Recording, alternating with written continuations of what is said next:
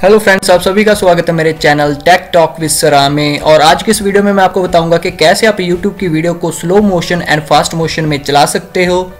इसके बाद दोस्तों, आप यूट्यूब के ऊपर अपनी किसी भी वीडियो को प्ले करो तो यहाँ पे मैं अपनी ही एक वीडियो को प्ले करने वाला हूँ।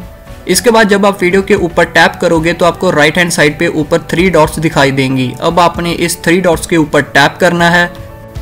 इसके बाद आपके पास यहाँ पे काफ़ी सारे ऑप्शन आ जाएँगे। अब आपको नीचे एक ऑप्शन दिखाई दे रहा होगा प्लेबैक स्पीड का।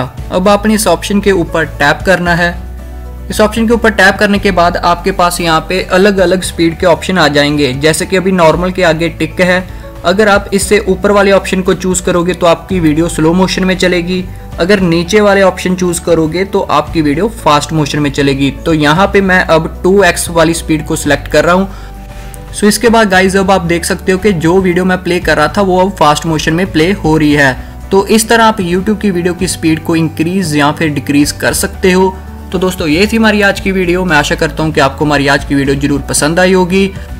Thanks for watching my video please like comment and share my video